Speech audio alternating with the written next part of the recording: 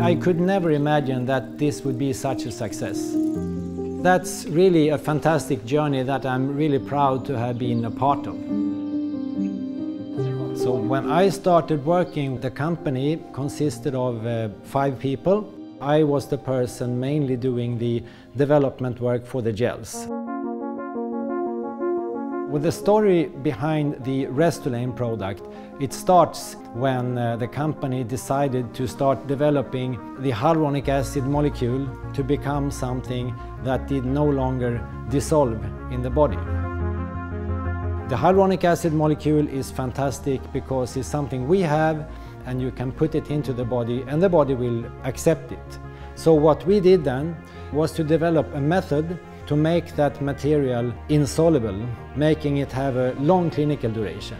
And that was the trick to kind of make a good, a strong gel, but still to make it durable in the tissue.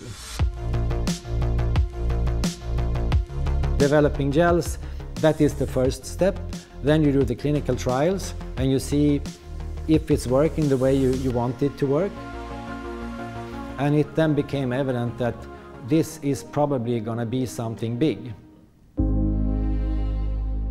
And so in 1996 we had uh, succeeded in uh, making a gel and making a product that was approved for sale in the US and that product was Restylane. Once the product was approved and commercialized, the company really had to put every effort into grow the production because there was a need for this product that we had no way of meeting at the time. Today, the manufacturing process have four main steps.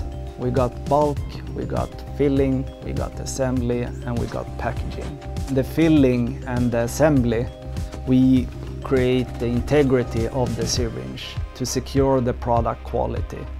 And also with the full syringe configuration, ensure that the uh, physician get the best possible experience in the injection. At the site in Uppsala, quality is in the essence of the culture. It's embedded in all the design elements of the product, the process and the facilities. We test uh, every batch with an extensive analytical testing. Whatever we do, we do not jeopardize the quality of the product and that makes me really proud. Today we have the uh, broadest range of gel properties in any filler brand on the market actually. Gel properties from soft to firm that is adapted to the different indications.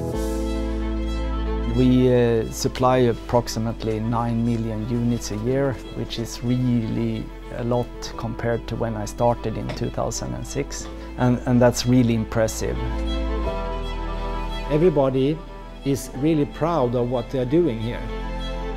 It's uh, a small Swedish city uh, and we are supplying the entire world with what we think is the best HA filler available. Being part of that is, is really fantastic.